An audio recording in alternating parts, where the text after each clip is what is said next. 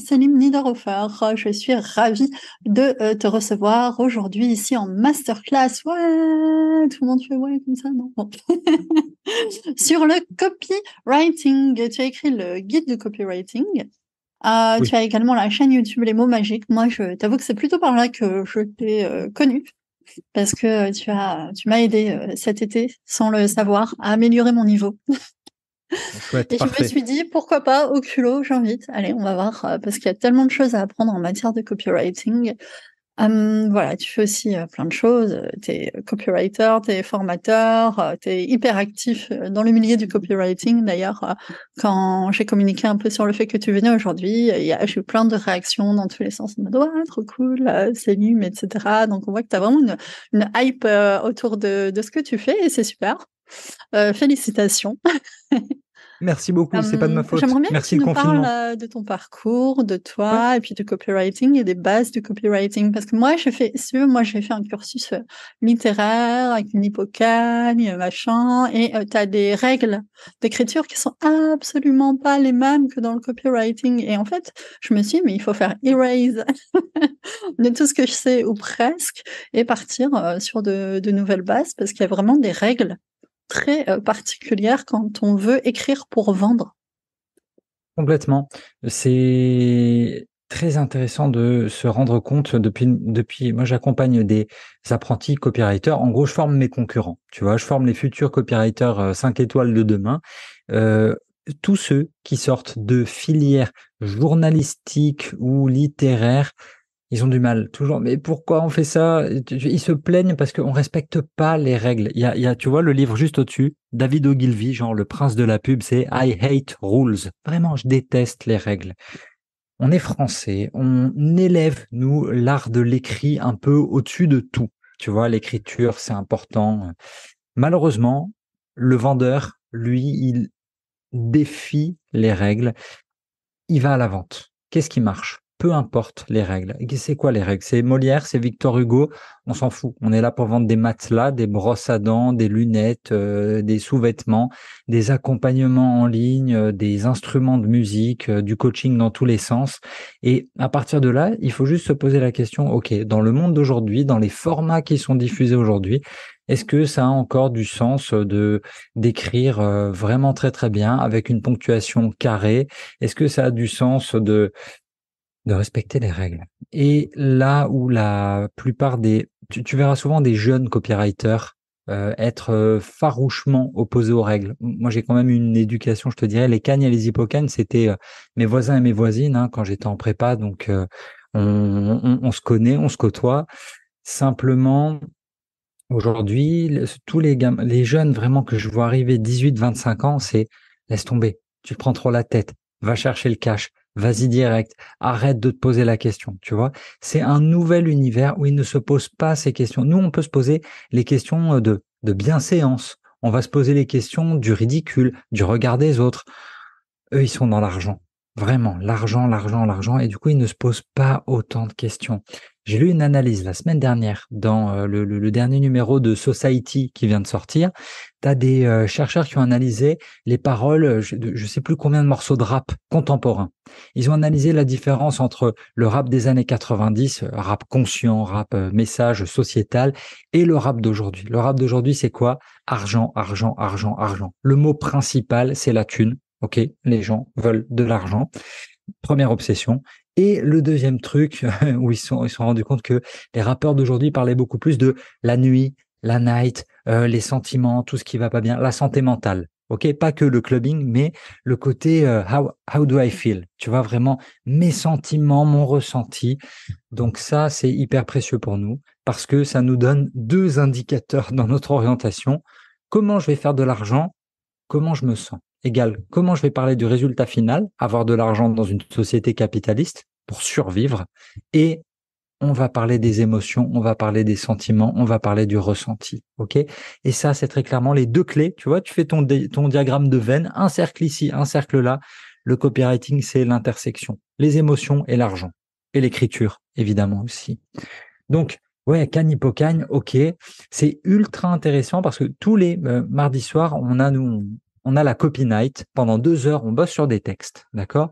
Et pendant ces deux heures, les gens qui interrompent pour ah Céline manque une virgule, manque un point, manque un si, manque un eh viens on s'en fout. C'est important quand même. Moi le but du jeu c'est de rendre un texte qui soit carré, ok, mais qu'on s'arrête pas sur des broutilles. Et moi je suis un peu entre deux générations, je te dirais, mais les plus jeunes, laisse tomber. Je vois des textes euh, truffés de fautes. Aujourd'hui, l'exemple que vous connaissez tous, quand vous regardez les sous-titres sur euh, Instagram, les Reels, les TikTok, tout ça, sous-titres truffés de fautes. Mais tout le monde s'en fout, d'accord? Et si tu leur fais remarquer, ouais, quand même, tu pourrais faire un effort. Même j'ai des copywriters, je m'en fous, j'ai pas le temps. Ce qui compte, c'est le résultat, c'est le message. Ils vont te dire, ce qui compte, c'est le message. La forme a de moins en moins d'importance pour une partie de la population, pas pour tout le monde, ok? Donc, en fonction de vos audiences, et c'est là que ça devient vraiment euh, intéressant, qui est votre audience. Qui vous achète, qui veut payer pour vos services?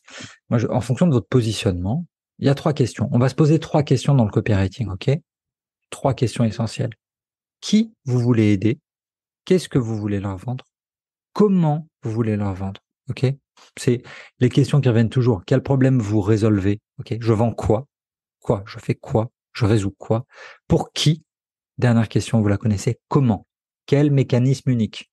Comment ça, avec ces trois questions, vous avez l'essentiel du copywriting. Vous avez le squelette de votre message.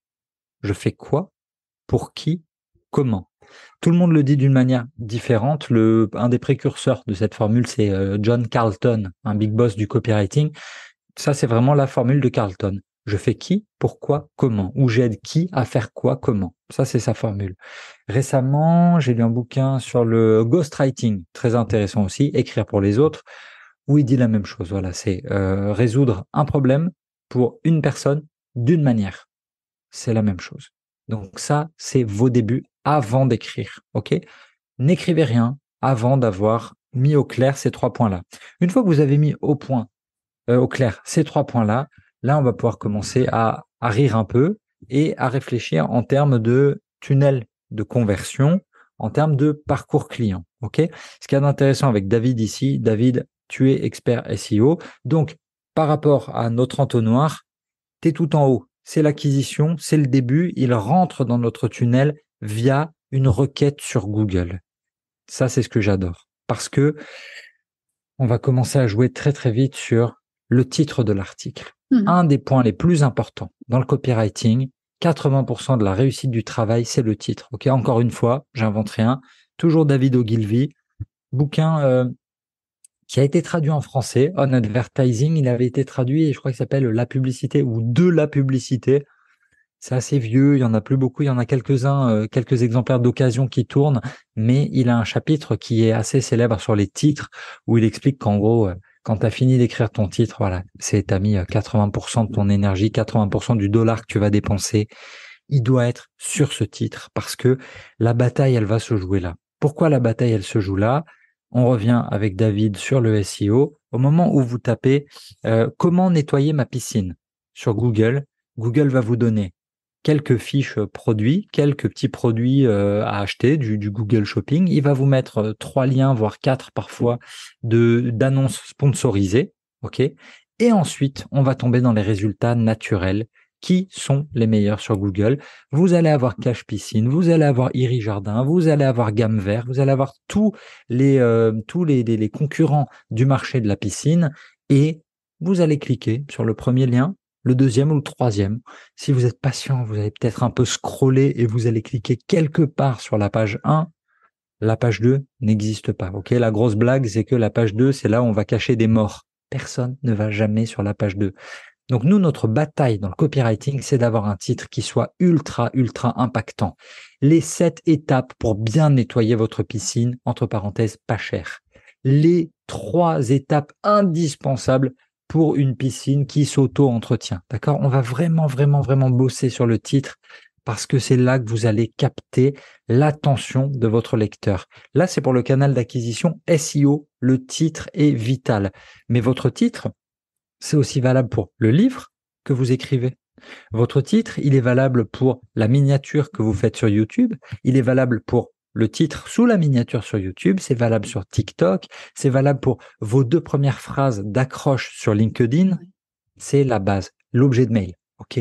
L'objet de votre mail, c'est ce qui va faire ou défaire. C'est le make or break.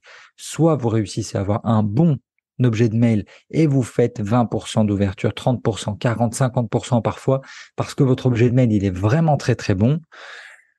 Soit c'est un échec complet parce que vous n'avez pas parlé aux besoins, aux douleurs profondes de votre lecteur. Quand on veut progresser en copywriting, on, dit souvent c'est de la psychologie, d'accord? C'est de la psychologie. Comprendre ce que veut votre client. Si on prend le cas, euh, David, tu vas croire que je suis un stand-upper et que tu es au premier rang et que je ne vise que toi.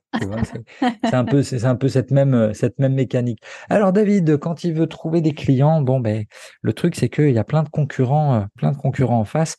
Le besoin profond, c'est quoi? C'est je veux vendre plus.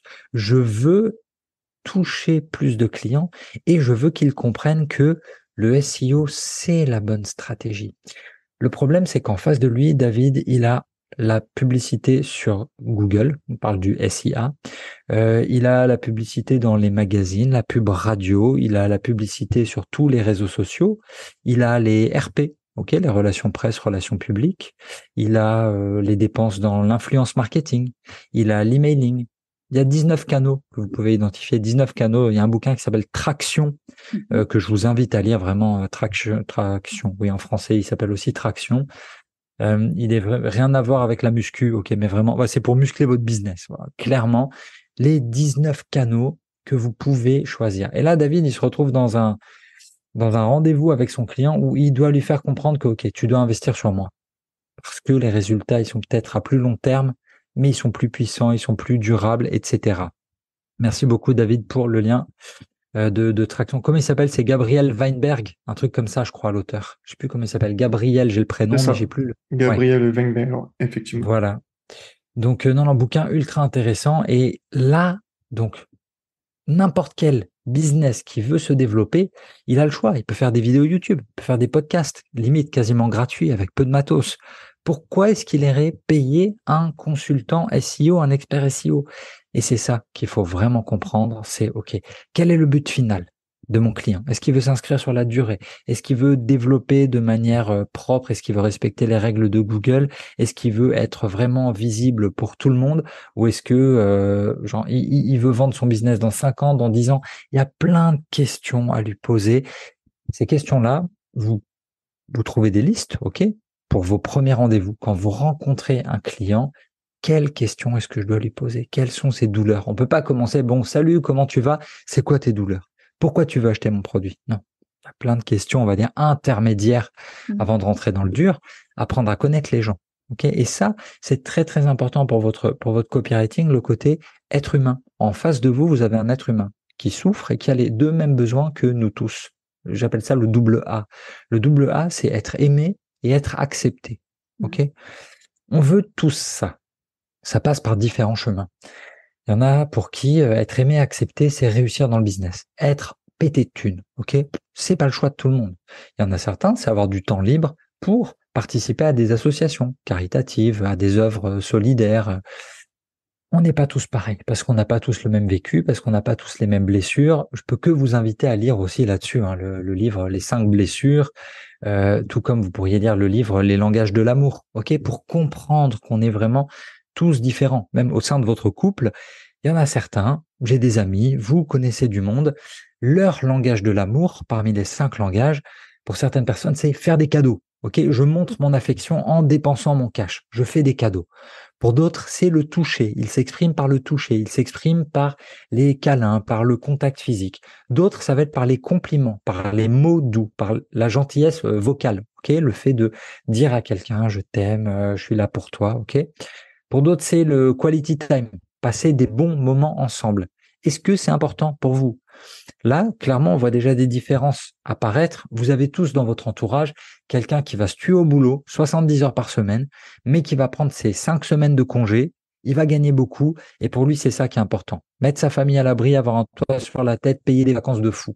Parce que pour lui, la définition du succès et de l'amour, peut-être que c'est ça. Mmh. De l'autre côté, vous avez celui qui va vous dire, non, mais en fait, je crois que ce qui est important, c'est d'être là avec mes enfants, de les éduquer correctement, d'être un être humain convenable, gentil. Et tant pis si on n'a pas beaucoup d'argent, ok? Mmh. J'ai juste mon salaire de prof et ça me va bien. Je vous dis prof parce que je bosse avec beaucoup de, de on va dire, de, de copywriters qui se reconvertissent, d'accord? Mmh. C'est des gens qui avaient un autre job, ils deviennent copywriters. J'ai beaucoup d'éducation nationale et beaucoup de soignants. À la base, des gens, donc on va dire avec un grand cœur, une mission tournée vers autrui, qui se retrouvent à devoir comprendre l'univers de l'argent. Parce que le copywriting, on est là pour faire de l'argent. Ouais. Du coup, on doit switcher mentalement. C'est pas les mêmes univers. Et donc là, j'avais fait quatre langages de l'amour. Je sais plus quel est le dernier de, de tête. Les, les cadeaux, j'ai dit. Cadeau quality time, être jeune, euh, Rendre des services, tu l'as rendre des services. Exactement. Exactement. C'est le dernier, c'est le cinquième. Rendre des services. Bon, au bout d'un moment, pareil, en termes de psychologie, vous savez que euh, il y a un concept qui s'appelle la fuck you money. À un moment où tu es tellement blindé, tu as tellement d'argent que non, non, non, non, je te dis non, je dis non à tout et je m'en fous. Et je paierai des amendes. Je roule trop vite, je paierai des amendes. Là, j'ai une, j'ai une voisine, j'ai acheté une maison, j'ai quitté Paris. Je vis désormais dans la Drôme, je suis à côté d'un petit champ, j'ai quelques voisins, mais pas beaucoup, c'est très calme, très silencieux. Et il y a un champ en plein milieu qui n'est pas entretenu. C'est pas normal. Période de grand feu, tout ça, on a l'obligation d'entretenir. La voisine, qu'est-ce qu'elle fait? Elle s'en fout, elle paye l'amende parce que l'amende n'est pas vraiment euh, n'est pas vraiment euh, comment on dit Pas dissuasive restrictive, pour elle. contraignante. Ouais, voilà, n'est pas dissuasive. C'est ce concept de oh, je suis blindé, fuck you, tu vois? Ouais. Et ça, ça c'est quelque chose qu'il est important de comprendre, quel que soit le modèle Mhm. mental, le modèle psychologique que vous allez décider euh, d'adopter, gardez-le. C'est une bonne grille de lecture. Ok? Moi, j'en ai plusieurs que j'aime utiliser. J'utilise pas trop l'énéagramme parce que compliqué. J'aime bien le MBTI, un schéma plutôt cool, ENTP, euh, INFP, euh, tous ces trucs-là. J'aime bien pour comprendre vraiment la personne que j'ai en face de moi.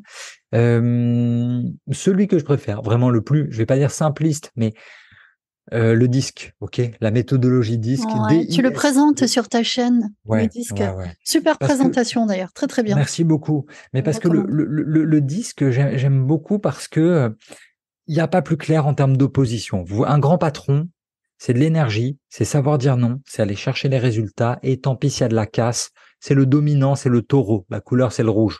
Ok? Mhm.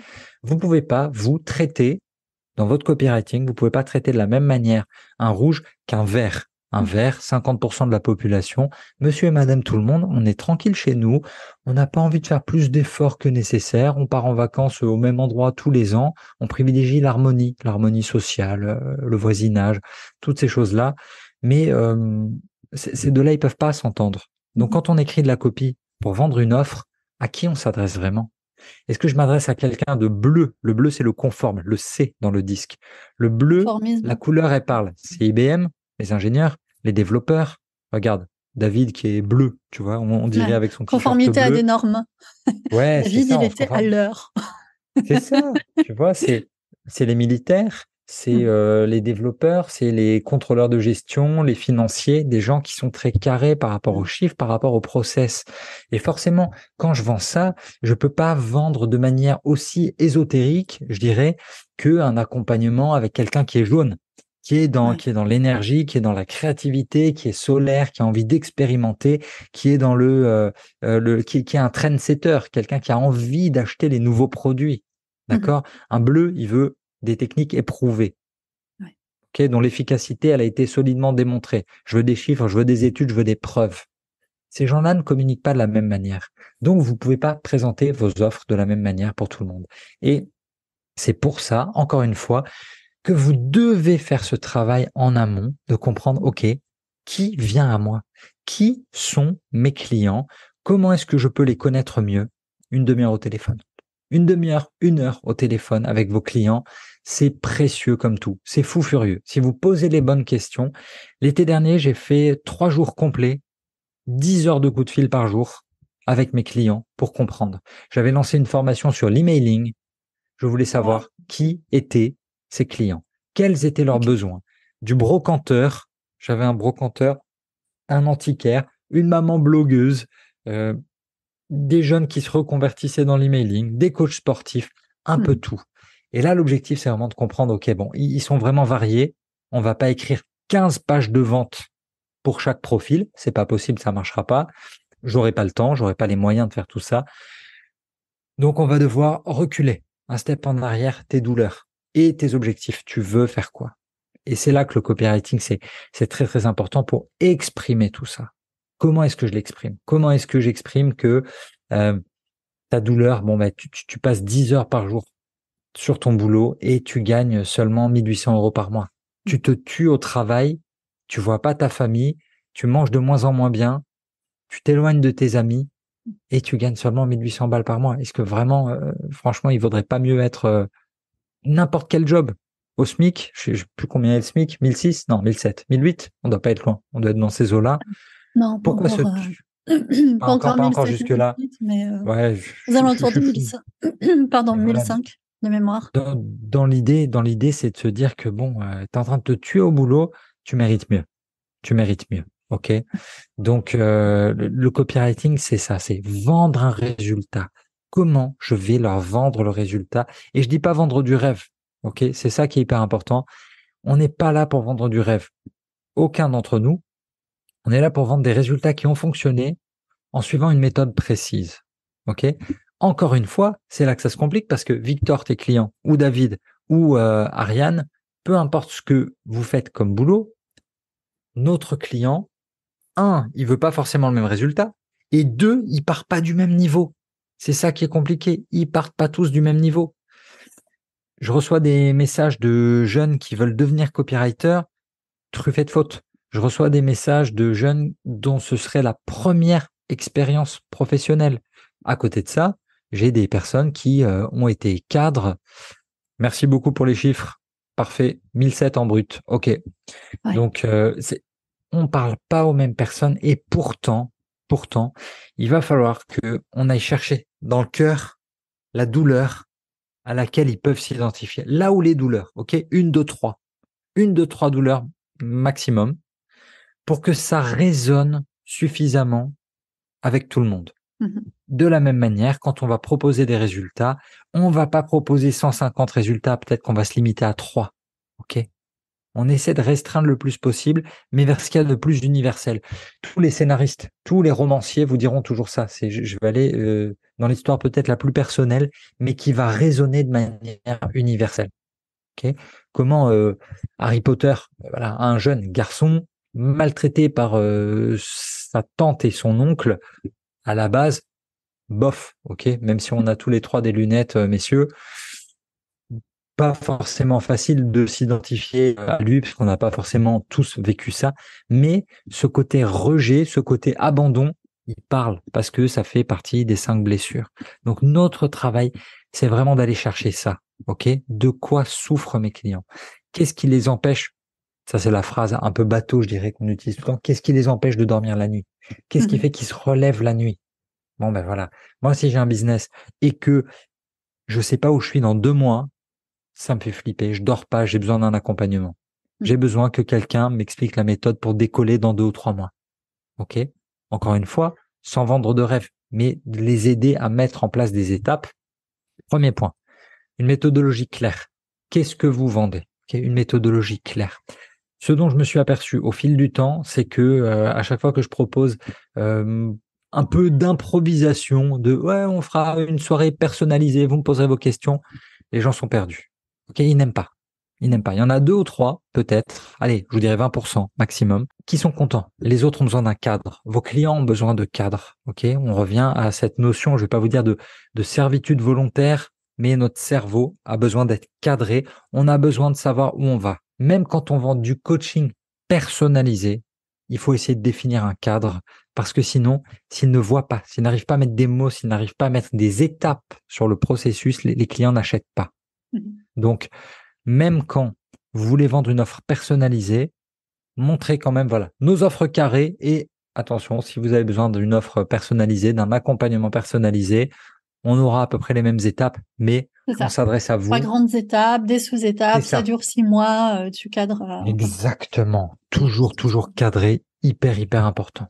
Euh, donc là, j'étais sur. Sur le fait que les gens ont besoin d'un cadre quand tu. Oui, bien sûr. Bien sûr, bien sûr, le cadre. Mm. La preuve, la preuve, la preuve, la preuve, la preuve. La preuve, elle est compliquée à apporter quand on démarre. Parce que quand on démarre, bon, ben, on a peut-être lu dix bouquins, on a peut-être fait une formation quelque part, mais concrètement, on n'a pas encore aidé quelqu'un. Euh, est-ce que je peux vous demander, pardon, Victor, euh, David et Ariane, votre niveau, vous en êtes où? Ça fait un an, ça fait euh, trois ans, ça fait combien de temps? Pour ma part, j'ai ouvert ma boîte de coaching il y a quatre mois.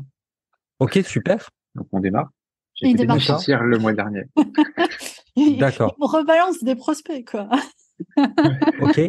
Et alors, est-ce que, euh, est-ce que donc tu, en es à ce moment où tu dois constituer la preuve, c'est ça, sur la crédibilité, sur les résultats. Tu as déjà des, clients qui sont arrivés au bout du processus ou pas encore? J'imagine pas encore. J'en ai deux euh, qui sont arrivés au bout. Euh, bah, en fait, c'est des potes. Je me suis dit, je, je vais prendre des cobayes. Oui, bien sûr. Deux cobayes qui sont allés au bout de cinq séances et ça, ça a très très bien fonctionné pour eux. Canon. Très très bien. Toujours commencer par le euh, les potes, l'entourage, la famille, les voisins, les artisans locaux. Je dis toujours, hein, voilà, vous commencez avec euh, ce que vous avez sur la main pour récolter les témoignages clients. Vous connaissez tous les niveaux de témoignage. Hein. Le témoignage qui n'a pas de qui n'a pas de nom à la fin, niveau 1, pas fou. Le témoignage qui est signé d'un prénom plus euh, d'un, de, de l'initiale du nom de famille. Vous pouvez rajouter à ça le nom complet quand vos clients vous donnent le droit. Vous pouvez rajouter l'âge, vous pouvez rajouter la ville et le Graal quand vous avez la photo, Maxi Graal quand vous avez la vidéo. Quelqu'un qui vous fait un témoignage En vocal, ça peut éventuellement. Oui, vocal c'est bien aussi, mais mm on passe encore un step encore plus loin quand on a la vidéo, parce qu'on a une vraie personne qui se filme, qui fait sa vidéo UGC euh, avec euh, son téléphone. C'est maladroit, c'est pas les mots des professionnels, et ça c'est bien, ça ça fonctionne, ok? Donc la preuve, la crédibilité, vous allez la travailler en vous accrochant, en tenant des années et des années, ok? L'autre preuve de crédibilité, c'est votre euh, longévité dans le domaine. Forcément, quand on démarre, c'est compliqué. Moi, je, rigole toujours un peu en me disant, bah, ils ont raison de le faire. Quand je vois des jeunes de 22 ans qui t'expliquent qu'ils sont coachs depuis 7 ans, ouais, c'est toujours, euh, c'est toujours marrant. Mais écoute, les, Américains ont cette approche vraiment très fake it till you make it. Mm. Bon, c'est côté français mentir pour trouver les premiers clients. Je préfère faire trois clients gratuits, mm. obtenir des vrais témoignages à l'époque, je me souviens quand je m'étais lancé, donc 2009, euh, au moment où j'avais lancé ma boîte de coaching en séduction, j'avais mis des annonces sur Groupon où j'avais fait un tarif complètement bradé. Je m'étais retrouvé avec 13 clients, ça prend beaucoup de temps. Sur Groupon, euh, t'as dit? Sur ouais, sur Groupon. ouais, ouais, vraiment. Bah, c'est un endroit où j'achetais des choses, mais physiques, quoi. Je pensais pas ouais, bien sûr, bien sûr. Mais écoute, les, les offres, euh, les offres de d'accompagnement fonctionnaient aussi. Ah euh, tu peux encore aujourd'hui, t'achètes des massages, t'achètes euh, des lots de 5 t-shirts pour le prix de 2, enfin, tout ce que tu veux. Et c'est là-bas que j'avais trouvé donc euh, mes ouais j'en avais eu 13 clients mais fatigant mais ça m'avait permis de la même manière de creuser OK de creuser t'es qui? Quel est ton problème? Pourquoi tu crois que tu as besoin de moi? Et surtout, pardon, explique-moi un truc. Et ça aussi, c'est des questions que vous devez leur poser. Toute l'information, elle est déjà en ligne. Pourquoi tu as besoin de moi en particulier? Ok, mm. ça c'est un peu le moment où ils vont vous dire non mais en fait je t'aime bien, euh, tu m'inspires confiance, j'ai confiance en ta méthode.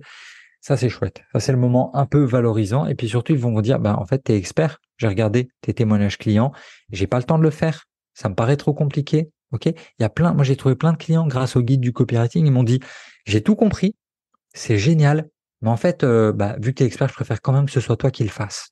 Ok, donc voilà, votre longévité, ça va jouer sur votre crédibilité. Donc accrochez-vous. Ok, si vous voulez, euh, nous on nous a toujours dit, euh, les, les, gens qui m'ont formé au business autrefois, ils m'ont toujours dit, tu perces, tu, tu, vas percer du jour au lendemain en dix ans. Ok, tu vas être connu du jour au lendemain en dix ans il faut s'accrocher. Victor, yes. Euh, j'ai une question aussi. Euh, là, j'ai une stratégie euh, qui est d'aller voir la presse locale, d'essayer de rentrer dans des émissions de radio, etc. Est-ce que ça sert? Est-ce que je peux le mettre sur mon site, même si c'est, même si j'ai pas de clients directement, mais est-ce que, est-ce que c'est une utilité? Complètement. C'est très très bien. J'avais aussi démarré comme ça. Trouver les premiers clients, trouver les premiers témoignages et euh, rapidement aller choper quelques backlinks, un peu de visibilité sur euh, la presse locale, les radios locales, tu vois, Radio France, euh, enfin France Bleu locale. Ils sont toujours très très bien référencés. Donc mmh fais-le, Fais-le vraiment, trouve un angle. Ok, n'oublie jamais, tu es là pour leur donner un angle sur une info insolite qu'ils seront heureux de présenter. Euh, par rapport au nombre de... Pardon, je t'écoute, vas-y. Coup, en fait, j'ai une question. Par exemple, moi, je suis allé faire un voyage sans argent pour faire un saut élastique. Ouais. En, partie, c'était pour montrer euh, ma boîte.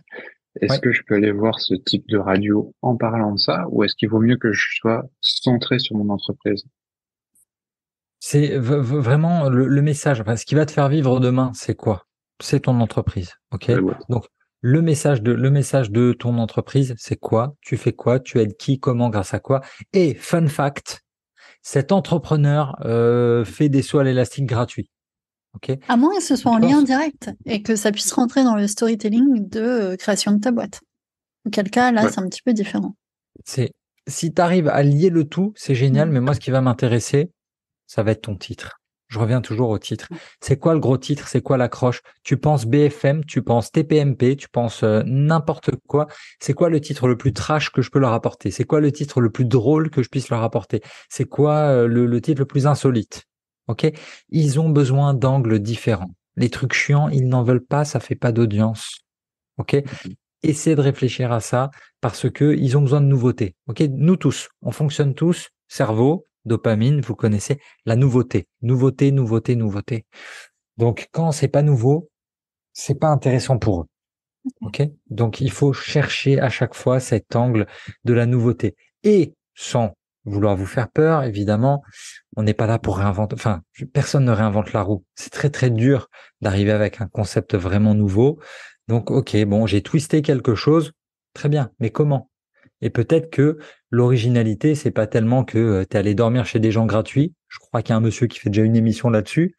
Peut-être que tu as réussi à faire ça, euh, mais que ta spécificité, c'est que euh, tu es entrepreneur ou que tu es coach, ou que tu es sportif de l'extrême, ou que tu habites dans un très petit village, ou que euh, quand tu étais gamin, tu étais bègue, tu vois, peu importe. Mais trouve quelque chose qui fait que tu as une info qui, qui, fait marquer un temps d'arrêt au cerveau. Mmh tu vois? C'est, ça, waouh, ça c'est insolite, waouh, ça c'est bizarre. Ok, Nous, dans le copywriting, on a une, on a, on va dire la, la, la copywriteuse la plus visible. Son positionnement est, merveilleux. Je suis la copywriteuse la plus suivie. Pourtant, j'étais dyslexique quand j'étais petite. Merveilleux. Génial. c'est top. Mais Victor, il a fait un, saut à l'élastique à la fin de son périple, alors qu'il est porteur d'une d'une maladie dont il parle. Hein. C'est pour ça que je me, je me permets, parce que tu l'as utilisé dans ton ah, bien sûr. storytelling. Euh, en l'occurrence, c'est la, sclérose en plaques, et que euh, ben, tu as vécu, tu peux peut-être en parler mieux que moi, mais une longue rééducation, enfin, tu reviens de loin. Quoi. je suis toujours dans la rééducation. Ça peut inspirer. Hmm. mais canon. Et, là, pour le coup, effectivement, message optimiste, porteur d'espoir, gagnant. Là, évidemment. Tu vois, c'est ça parce que, pardon, l'image que j'ai de la sclérose en plaques, euh, je vais avoir 40 ans, pour moi, c'est Dominique Farrugia qui est dans un fauteuil roulant. Tu vois? je, je pouvais pas utiliser mes mains en fait. J'arrivais pas à couper un steak. J'avais pas assez de force pour couper un steak. Ouais. Ça y revient de là, euh, Victor.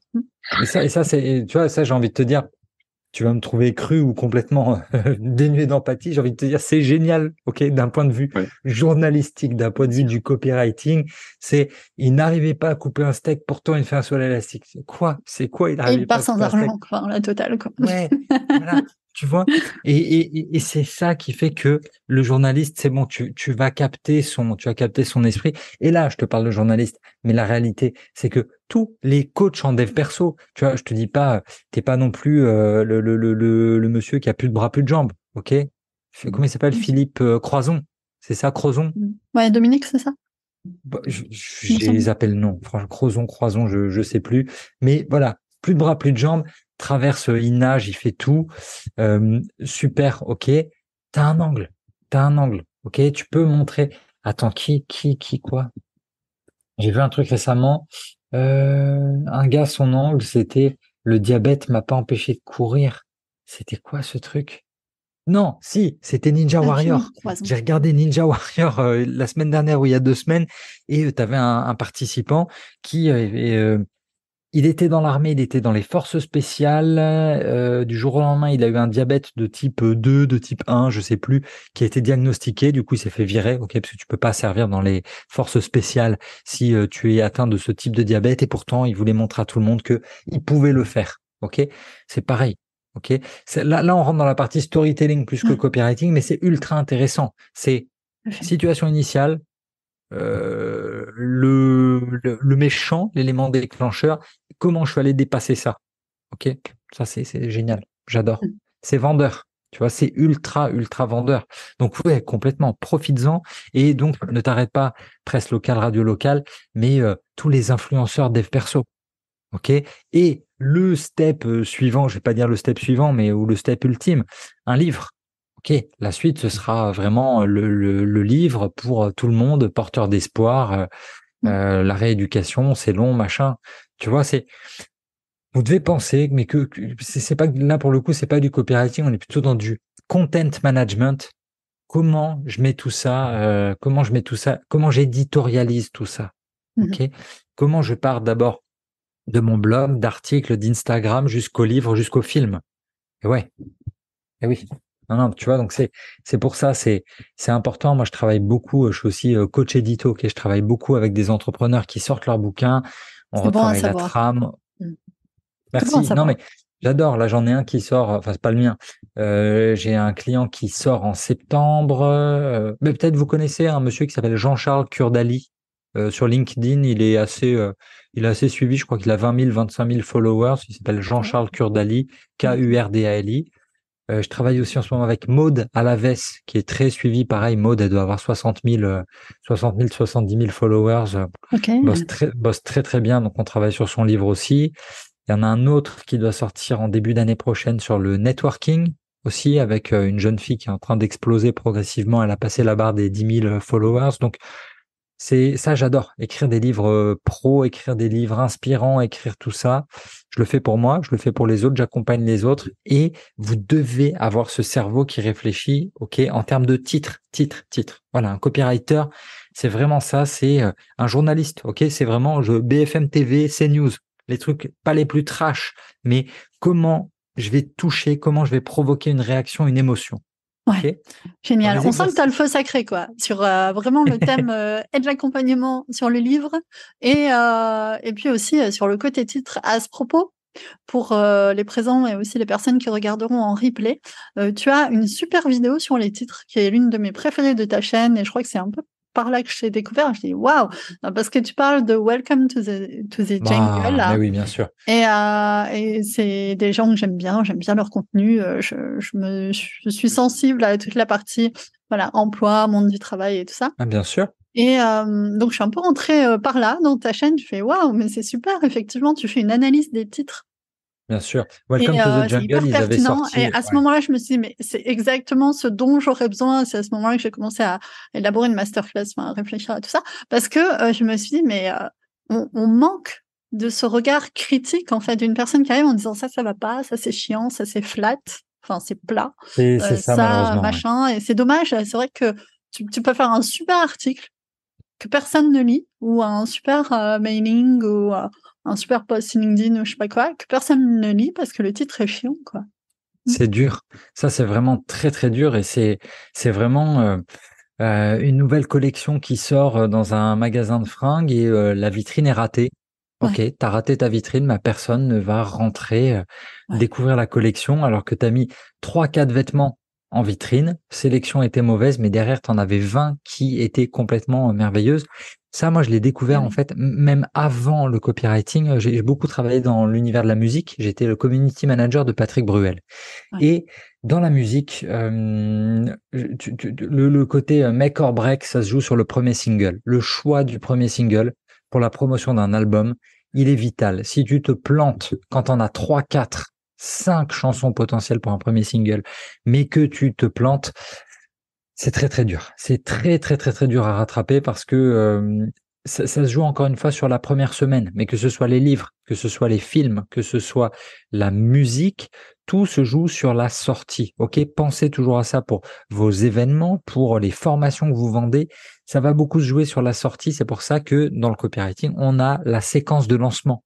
Mmh la séquence de lancement, elle est super importante. Un livre que je vous recommande de lire, euh, le big boss sur le sujet, c'est Jeff Walker, comme Walker Texas Ranger, ok, Jeff le piéton, Jeff, Jeff le marcheur.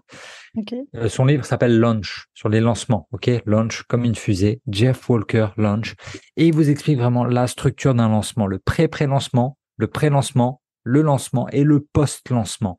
Et mmh. tout ça, c'est à travers des mails tel mail a tel objectif. Dans tel mail, il y aura tel objectif de, tel principe de persuasion.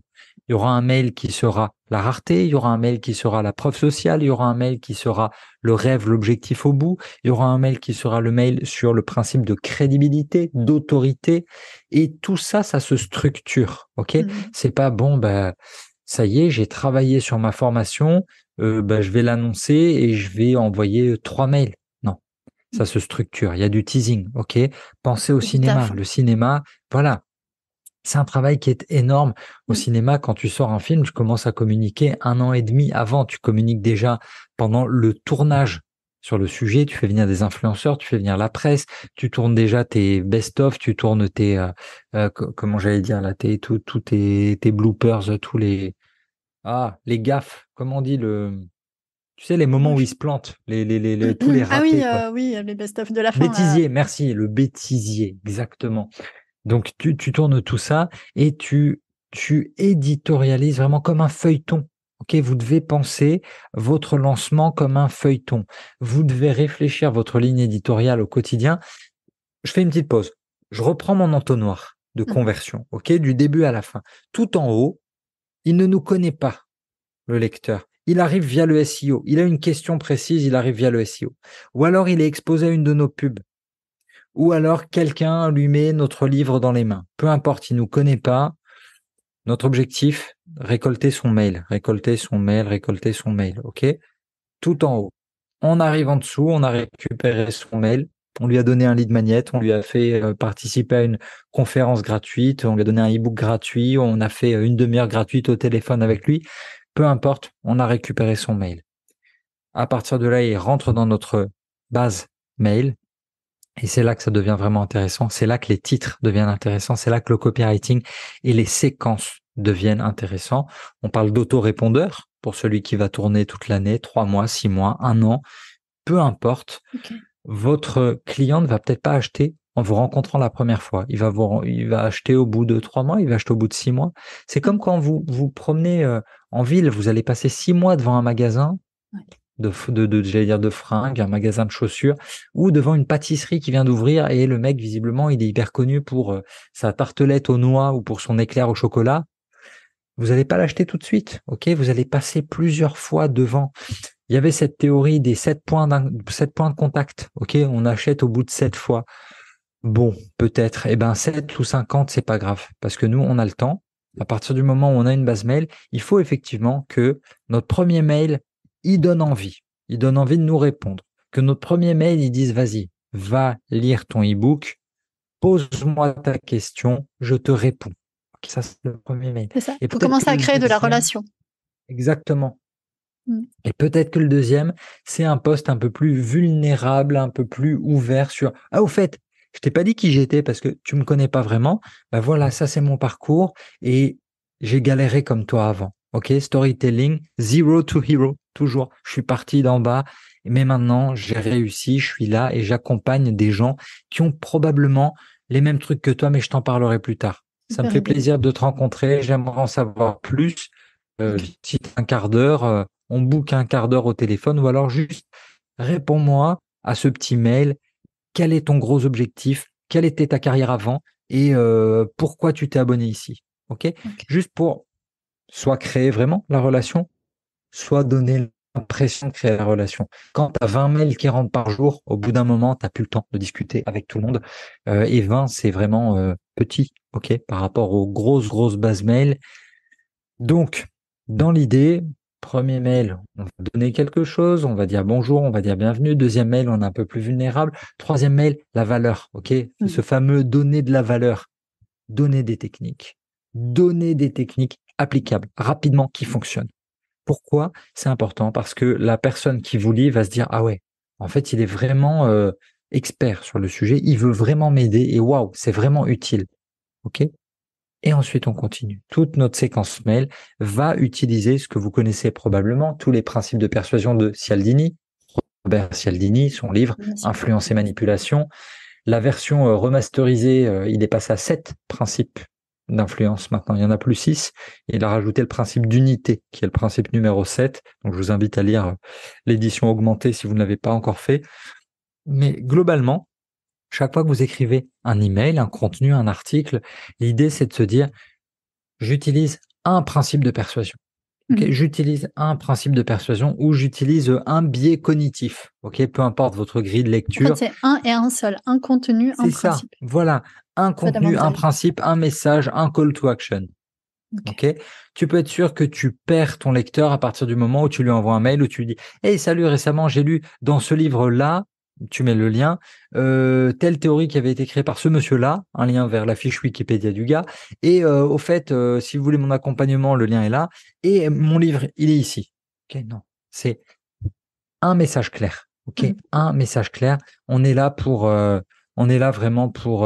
t'as bien fait, vraiment, Victor, t'as bien fait. C'est la base. À partir du moment où tu as ça en tête, je te dirais. Ça est précieux. ouais, précieux est bien aussi. Tu vois le monde avec un autre regard. Et n'importe quelle personne qui te contacte, je vais te dire, OK, bon, est-ce que là, on est dans la réciprocité? Est-ce qu'il est déjà en train d'essayer de me m'arnaquer Tu vois? Est-ce mmh. que, euh, est-ce que, waouh, il m'a envoyé un mail où il a mis à fond autorité, autorité, autorité. Tu vois, moi, si je contacte quelqu'un, euh, bonjour, je suis Céline de Refer, j'ai vendu 10 000 exemplaires du guide du copywriting et j'ai écrit pour Forbes et j'ai écrit pour Playboy et je donne des cours à l'ESCP, à Grenoble École de Management et bla bla bla bla bla, community manager de Patrick Bruel, tu vois? Je peux envoyer des pavés d'autorité comme ça dès le début. C'est pas ça qui marche. Les gens n'aiment pas les personnes qui sont trop exceptionnelles. Ça aussi, moi je dis beaucoup de psychologie. En fait, euh, lisez Psychologie Magazine, psychologie.com euh, et euh, le, journal la psychologie aux États-Unis, je sais plus comment il s'appelle. J'ai les liens, je me souviens plus. Dans l'idée, on se rend compte que quand quelqu'un a une vie trop différente de la nôtre, on arrive moins à relate, à s'identifier à lui. J'ai une anecdote comme ça, c'est le spectacle de Hélène de Généresse. Ok, elle fait un stand-up, présentatrice très connue aux États-Unis, euh, la petite blonde aux yeux bleus là. Euh, elle faisait du stand-up il y a 20 ans. Elle est devenue grande présentatrice télé et là elle est remontée sur les planches il y a deux ans et euh, un de ses amis lui dit mais Hélène on a un problème est-ce que tu penses que les gens vont encore réussir à s'identifier à toi? Et elle commence par une par une anecdote bah, Écoute, ouais, je me posais la question l'autre jour parce que j'étais dans mon bain quand mon majordome est entré pour me dire qu'il y avait quelqu'un qui m'attendait de l'autre côté dans l'aile ouest du château. Euh, pourquoi les gens s'identifieraient plus à moi Tu vois? Et c'est un peu ça quand on est. Oui, effectivement, on, se demande. Ouais, tu vois, c'est psychologiquement. Euh, je vais peut-être pas démarrer un mail pour vendre une formation en disant je suis le meilleur, je suis l'expert, je suis le plus fort, je suis le plus beau. Regarde euh, mon conjoint, ma conjointe, comme on est riche et beau, machin c'est pas forcément ça qui va parler à des personnes, je dirais, normales de la vie de tous les jours. Ok, le côté bling peut plaire aux ados, peut plaire euh, aux jeunes de 25-30 ans qui seraient un peu perdus, qui n'auraient pas vraiment d'orientation dans la vie. Mais à partir du moment où tu as rebranché ton cerveau, normalement, tu comprends que bon, c'est pas forcément des des arguments auxquels tu vas t'identifier.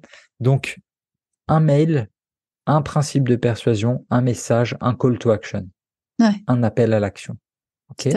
Et l'intérêt du copywriting, c'est que ça vous permet en fait de le copywriting, c'est pas magique. Cette écriture, même si moi ma boîte s'appelle Les mots magiques, mon prochain bouquin il s'appelle d'ailleurs Les mots magiques. Je crois que la fiche elle est déjà en Super ligne. titre, ça se retient euh, très très bien. Merci. je l'ai retenu de suite moi du coup. Mais ouais, encore encore une fois, c'est euh, c'est un truc qui nous vient de notre enfance, tu vois, les mots magiques, ça mm. nous vient de notre enfance. C'est déjà assez connu et et voilà, marque déposée, comme ça, c'est protégé, personne n'embête. Pensez à ça aussi, ok, par rapport à vos différents business. Euh, déposer la marque. Hmm. Ouais, bien sûr. C'est ça, c'est important. Attends, je voulais vous parler de quoi? Je me suis éloigné. Si, euh, quand on pense à une séquence comme ça, on a plein d'idées. Fonctionnez toujours votre téléphone ou votre carnet de notes. Prenez des notes, prenez des notes, toujours prendre des notes. Ne perdez pas une idée. Ok, vous voyez quelque chose qui est applicable à votre contenu, ne perdez pas cette idée. on est des vendeurs d'idées, on vend grâce à nos idées, on vend grâce à la proximité qu'on a. Je ne sais pas si tous les trois et Ariane vous utilisez de l'emailing au quotidien, mais euh, parmi les personnes que je suis le plus, euh, il y a des gars qui envoient un email par jour. Moi, je suis pas à ce rythme-là. Cet été, je suis à deux par semaine seulement. Mhm. En temps normal, je suis plutôt à trois. Mais là, j'ai levé le pied, j'ai expliqué pour cet été, ce serait deux seulement, avec une technique et un peu de, Ok, ouais, David. C'est important. C'est vrai que ça prend du temps, mais chaque semaine, tu vois, quand tu penses ta ligne éditoriale, le lundi, je donne une technique, le mercredi, je donne une preuve, et le vendredi ou samedi ou dimanche, euh, une interview d'experts sur le sujet ou une analyse du SEO. Euh, pas de ligne éditoriale ni trop d'idées. Ok, important, tu vois, pareil, stylo papier. Tu fais un cercle, ok, je suis Victor, je suis qui, qu'est-ce qui me définit? Et j'ai envie, euh, j'ai envie d'inviter qui dans mon monde? Tu vois, quel, je, parle comment? J'ai envie d'inviter qui dans mon monde? Là, la vidéo dont tu parlais tout à l'heure, Nathalie, euh, sur euh, mon décryptage de Welcome to the Jungle, j'ai mmh aucun mal à tirer sur les gens.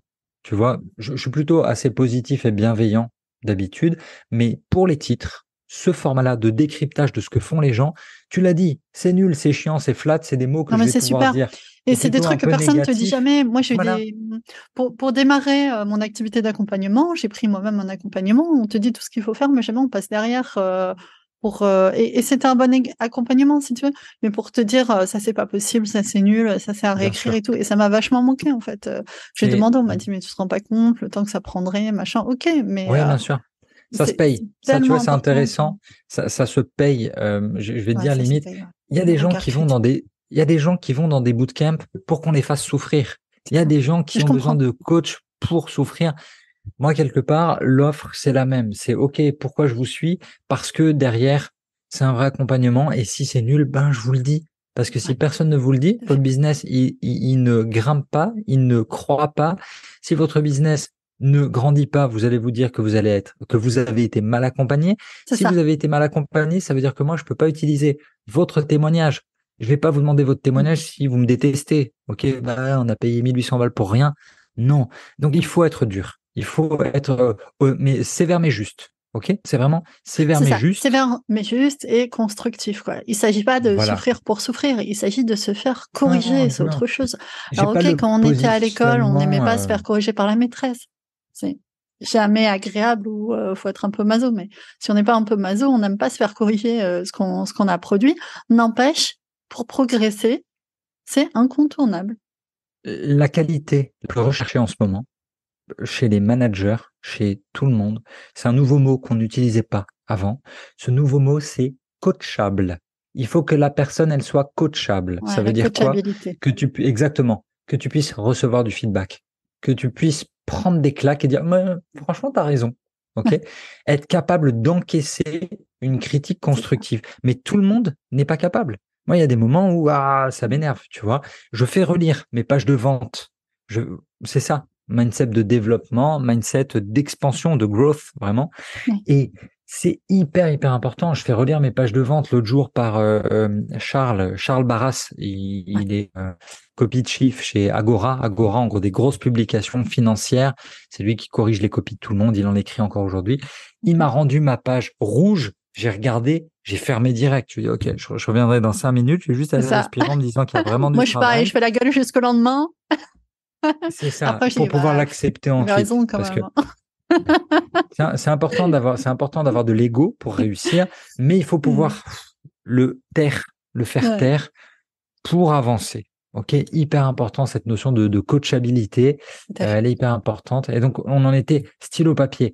Tout ce qui vous arrive, le mettre dans votre ligne éditoriale, faire des liens et, se dire ok bon bah ça ça m'arrive, ça arrive peut-être aux autres. Est-ce qu'il y a une histoire à en tirer avec une leçon Ok, la structure de base du post LinkedIn que on lit tous, c'est eh, tiens, il m'est arrivé ça, eh ben euh, c'était dur, mais j'en ai retiré telle leçon et j'ai obtenu tel résultat. Ok, méga simple, une structure qui est vraiment super simple. Penchez-vous sur cette notion de structure dans le copywriting. Problème, amplification du problème, solution. C'est le, le, plan PAS, P-A-S, problème, mmh. amplification, solution. Vous avez un problème aujourd'hui, Victor, et euh, si vous ne le prenez pas en main, eh ben, demain, ce sera encore pire et vous n'arriverez plus à faire ci et plus à faire ça et, à faire ça. OK? Mmh. Heureusement, on a la solution. Problème, aggravation, amplification, solution. Ça, un plan ultra facile. L'autre plan ultra facile qu'on utilise dans le copywriting, BA, euh, BAB, Before, After, Bridge. En gros, situation avant, mmh situation après. Je vais vous révéler ce qui s'est passé entre les deux. Quel a été le mécanisme qui m'a permis d'en sortir? OK? C'est toutes les vidéos où vous voyez un, ça, c'est ma maison avant quand j'étais un clochard. J'étais vraiment en galère. Regardez, je mangeais mes doigts. Aujourd'hui, je mange à Dubaï euh, dans ma Lamborghini. Euh, j'ai sept femmes. Enfin, un truc de fou. Que s'est-il passé entre les deux? D'accord? Là, j'exagère volontairement. Mais il y a des business dans lesquels c'est vraiment applicable. Typiquement, tu vois, David, s'il nous fait une, s'il nous fait euh, une copie d'écran avant le trafic, le Google Analytics, trois mois plus tard, après, qu'est-ce qui s'est passé entre les deux? Before, mmh. after, bridge. Ok, le pont entre les deux. Avant, après, pareil pour tous les coachs sportifs. Ok, ça, ça marche de fou. Le avant, t'étais gros ou t'étais trop maigre. Le après, t'es fit, tout va bien, tu te sens bien dans tes pompes. C'est quoi le bridge entre les deux? Eh ben, c'est la méthode Musclore avec euh, un seul coaching par semaine où tu manges ce que tu veux, mais les exercices que je te donne sont fous furieux. Ok? Pensez en termes de plan. Chaque fois que vous lisez des choses, essayez d'identifier les structures. Je voulais vous dire quoi? Aujourd'hui, quand vous tombez sur des bons postes, vous le prenez, vous le mettez dans le chat GPT, vous lui demandez chat GPT, s'il te plaît, sors-moi la structure. Quelle est la structure? Quels sont les arguments développés? Et il va vous sortir une structure. OK? Et cette structure, ensuite, vous pouvez la réadapter pour vos propres postes. Quand vous voyez des postes qui buzzent vraiment, qui sont viraux sur LinkedIn, vous les prenez, vous les copiez, vous les mettez dans un dossier, vous essayez d'analyser vous-même la structure. Si vous ne la voyez pas vraiment, vous la passez dans le chat GPT, s'il te plaît, sors-moi la structure. OK? Là, peut-être qu'il va pas vous donner un très bon résultat. Suivez quelqu'un qui est très très balèze, je le connais même pas, on se connaît pas lui et moi. Il s'appelle Brice Tofardi, T-O-P-H-A-R-D-Y ou Trofardi. Brice, c'est trop ou tôt, je sais plus. Vous avez l'idée, vous allez le trouver. On regardera. On il prend une croissance de fou. Euh, il doit être à 25, 28, peut-être 30 000 abonnés. C'est l'expert en chat GPT en ce moment. Il fait des templates qui sont très, très forts. Il vous montre vraiment comment l'utiliser. Aujourd'hui, le copywriting, vous pouvez améliorer structure de mail, vos articles, vos posts LinkedIn, tout ce que vous allez faire avec l'aide de chat GPT. Je pouvais pas finir cette euh, petite masterclass. Oui, effectivement. Ah, il y a Brice Trofardi. Victor nous l'a Trofardi, exactement. C'est hyper important de vous intéresser à tous ces outils parce qu'ils vont vous faire gagner du temps. Hier soir, j'étais avec une amie qui est directrice d'agence de communication. Elle m'a dit, euh, mec, t'es dans la merde. Et elle a raison. Elle m'a dit, j'ai rédigé un appel d'offres entier avec ChatGPT. Enfin, elle dit, j'ai rédigé. Je lui ai demandé. Je lui ai demandé de me rédiger le truc et il l'a fait tout seul. Effectivement, David, ça évolue très très très vite. Euh, et la qualité était très bonne. Elle a changé euh, à la marge de trois mots et c'était réglé. Donc aujourd'hui, structure plus écriture, ChatGPT va vous aider à aller vraiment vraiment plus vite. Avec à mon avis une petite astuce qui consiste à, dire en pré-prompt à ChatGPT je suis copywriter analyse-moi la structure de ce poste. Parce que si vous, si vous fournissez un cadre à ChatGPT euh, préliminaire, il vous fait une structure sous un angle bien, bien, particulier. On va peut-être te libérer, Céline. Merci infiniment. tu nous as délivré une grande quantité J'aurais pu vraiment m'amuser pendant deux, trois heures encore. On aurait pu parler des cas spécifiques et, et, ça, si ça te dit, euh, on, pourrait, euh, on pourrait remettre ça et poursuivre peut-être sous un angle particulier, si ça. Écoute, on, euh, on, parlera dans ce cas-là, dans ce cas-là, si on reprend un peu plus tard, je te dirais novembre, décembre, sur sous le prisme du content. Ok, comment tu éditorialises? Qu'on se concentre vraiment sur le, le contenu. Quel contenu pour faire venir du monde? Ça reste un peu ça reste un peu dans, dans, dans, la veine du SEO. Et surtout, voilà, Victor, d'ici là, tu auras le temps de te pencher dessus. OK?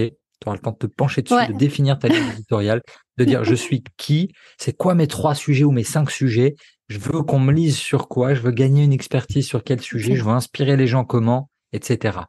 Ok. Novembre-décembre, je note. Non, ça m'a fait super plaisir. Ouais, bien sûr. Euh, si on veut en savoir plus, on achète ton livre, on suit tes formations. Si on veut devenir copywriter, bon, on vient et puis euh, toi, tu Bien sûr. futur copywriter 5 étoiles. Et puis, euh, bah, rendez-vous en novembre-décembre pour la suite.